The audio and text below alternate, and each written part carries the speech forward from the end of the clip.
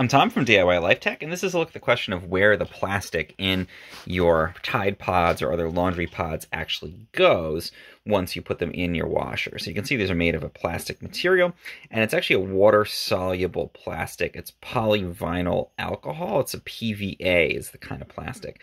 So this will actually dissolve in water, and that's how these work. It's um, The detergent is contained in there. You throw it in the washer, and when the washer starts up and the water is added, it dissolves that plastic. The um, uh, liquid detergent comes out and cleans your clothing.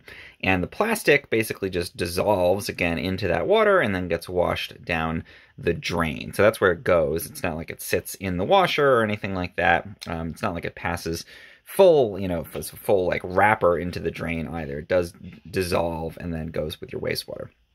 Um, now, in theory, that should be treated at your um, your municipality's wastewater treatment plant. Those chemicals should be removed from the water. There's some studies that uh, that suggest that that might not always happen. Some of that may make it into the environment. So some people do have concerns about that. Um, but if you live in an area that has a, uh, a functioning sewage treatment plant, um, then most likely this is something that will be removed um, in the uh, in the treatment process. There again, as a dissolved material in uh, the wastewater that comes out through the sewer. One other uh, thing that's good to know from my research, it appears that these are safe to use with a septic system.